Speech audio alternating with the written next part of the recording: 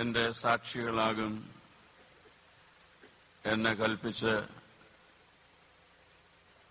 പ്രിയ ശിഷ്യന്മാരെ നിയോഗിച്ച ദൈവമേ.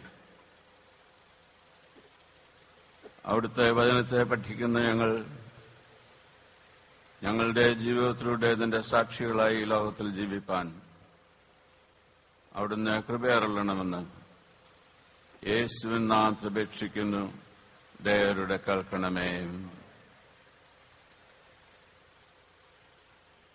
അപ്പോസ്തല പ്രവൃത്തികളുടെ പുസ്തകം.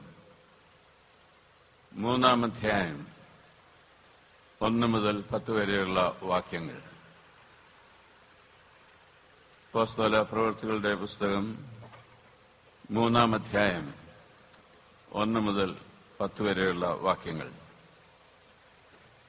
ഒരിക്കൽ പത്രോസും യോഹന്നാനും ഒൻപതാം മണിനേരം പ്രാർത്ഥനാ സമയത്ത് ദേവാലയത്തിലേക്ക് ചെല്ലുമ്പോൾ അമ്മയുടെ ഗർഭം മുതൽ മുടന്തനായ ഒരാളെ ചിലർ ചുമന്നു കൊണ്ടുവന്നു.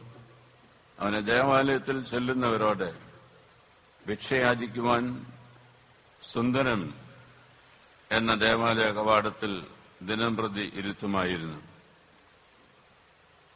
അവൻ പത്രോസും യോഹന്നാനും ദേവാലയത്തിൽ കടക്കാൻ പോകുന്നത് കണ്ടിട്ട് ഭിക്ഷ ചോദിച്ചു. പത്രോസ് യോഹന്നാനോട് കൂടെ അവനെ ഉറ്റുനോക്കി. ഞങ്ങളെ നോക്കൂ എന്ന് പറഞ്ഞു. അവൻ വല്ലതും കിട്ടും എന്ന് കരുതി അവരെ സൂക്ഷിച്ചു നോക്കി. അപ്പോൾ പത്രോസ് വെള്ളിയും പൊന്നും എനിക്കില്ല. എനിക്കുള്ളത് നിനക്ക് തരുന്നു.